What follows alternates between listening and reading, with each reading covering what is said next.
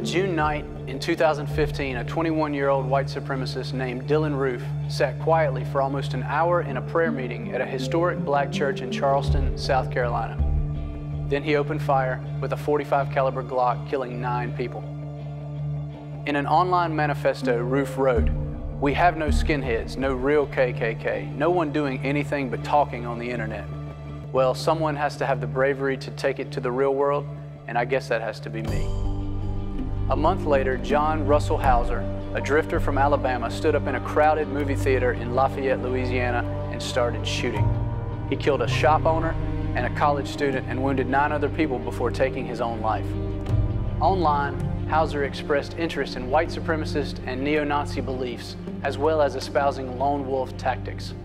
In a 2014 posting, he wrote, You must realize the power of the lone wolf is the power that can come forth in all situations look within yourselves. In April 2014, former Ku Klux Klan leader Frazier Glenn Miller gunned down a 69-year-old doctor and his grandson in the parking lot of a Jewish community center in Overland Park, Kansas. Next, he went to a nearby Jewish assisted living facility and killed a woman who was visiting her mother. Miller is a longtime anti-Semite who regularly posted on a racist forum about wanting Jews dead. None of his victims were Jewish. In August 2012, racist skinhead Wade Page went to a Sikh temple in Oak Creek, Wisconsin, and he killed six worshippers. Four other people were wounded, including the first responding police officer, who was shot 17 times but survived.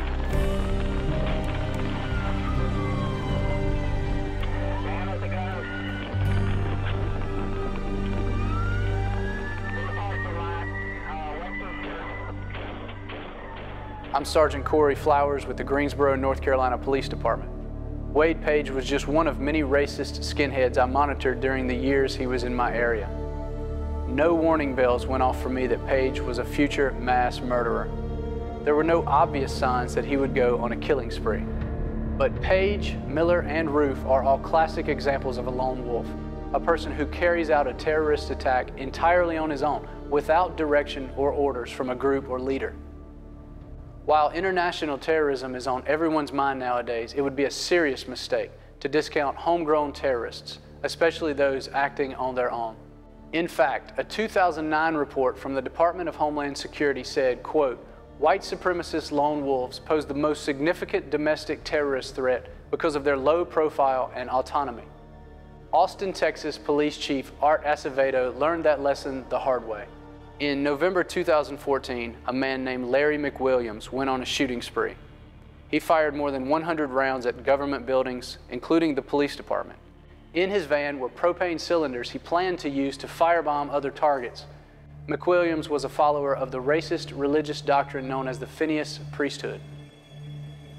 Chief Acevedo summed up the threat when he said McQuilliams was, quote, a homegrown American extremist. Hate in his heart was part of his problem.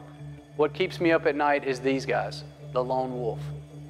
Lone wolf violence is on the rise, and we in law enforcement must learn to identify this deadly serious threat before more lives are lost.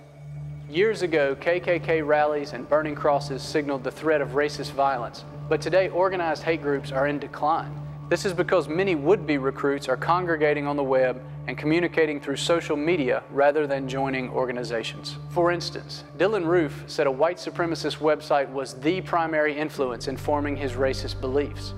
Glenn Miller posted almost 13,000 times on the racist and anti-Semitic forum Vanguard News Network. The lone wolf style of attack has proved more successful than plots in the past that were planned by major group leaders. Lone wolves are self-motivated to organize and execute attacks without direction from others. Though Wade Page was a member of a skinhead group, he appears to have carried out the Temple murders because of personal triggers. He lost his job and his girlfriend. He apparently had no communication with his group about his plans. But his many years in the racist movement informed his choice of a target. Law enforcement officers are also increasingly becoming the targets of domestic terrorists. A 2014 study from the Anti-Defamation League tracked 43 incidents from 2009 to 2013 that involved domestic extremists and law enforcement. These were cases where shootouts occurred. Extremists fired at police or officers had to use their weapons to protect themselves. White supremacists and anti-government extremists were behind 90% of the cases examined. A study by the Intelligence Project of the Southern Poverty Law Center examined 63 incidents from April 2009 to February 2015. It found that a domestic terrorist attack or foiled attack occurred on average every 34 days, almost every month. 63 people died in those attacks, along with 16 assailants lone wolves were responsible for almost three-fourths of the incidents examined. Extremists worked in pairs in 10 of the remaining 16 attacks where the number of assailants was known. Only six cases involved three or more people. The study uncovered other key components of the attacks and the offenders behind them.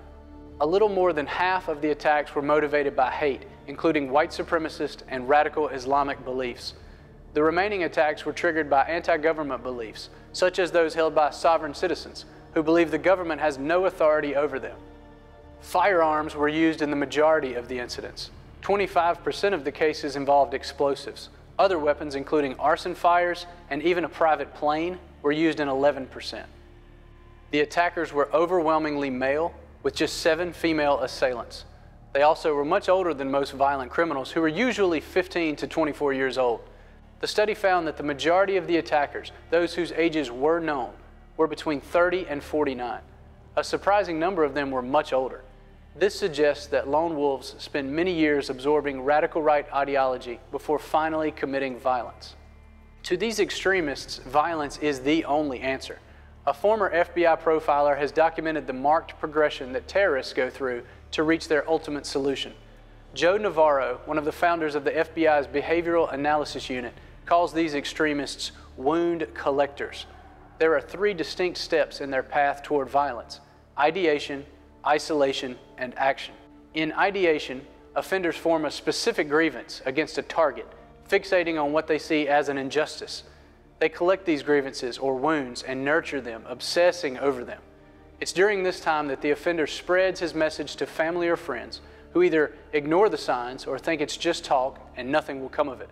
Once an offender's communications are ignored, he isolates himself physically and mentally. He retreats to the internet, where racist websites and forums reinforce his beliefs. This is when he becomes really dangerous because there is nothing to counterbalance his obsession. Escaping into cyberspace also makes lone wolves much harder to track, but there are some warning signs. In a two-year study of almost 100 murders by racist extremists, the Intelligence Project identified 10 characteristics shared by killers who were active online. All the extremists in the study were unemployed. All engaged in some type of public activism, like protesting or leafleting, before turning to the internet. Most of the incidents occurred at home because triggers of violence are often personal. They posted on more than one racist forum or blog. There was sustained online activity, Almost all offenders had been on racist forums for more than 18 months. They exhibited antagonistic behavior with others on online forums. There was a change in their regular posting patterns, either an increase or a decrease. They discussed violence as an acceptable solution to problems. Weapons were discussed. And a specific enemy was identified, whether someone of another race or religion or the government. Finally, the offender is ready to act on his obsession. As Navarro described it, extremists in that state of mind have a lot of anxiety, and the only way to relieve that anxiety is to kill or harm somebody.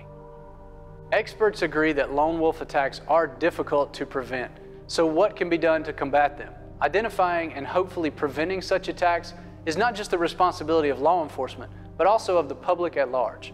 Everyone has heard the slogan, see something, say something. In dealing with possible lone wolf attacks, law enforcement needs to add the message of hear something, do something.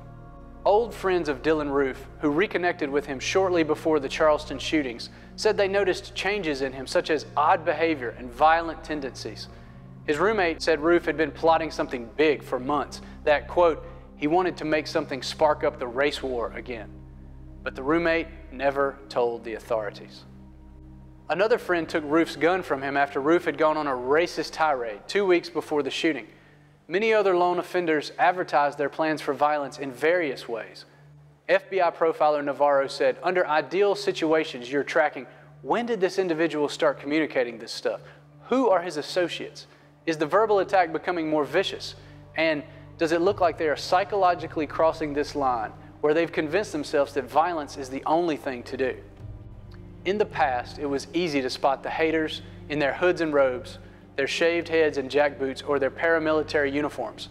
But times have changed, and so have our homegrown terrorists.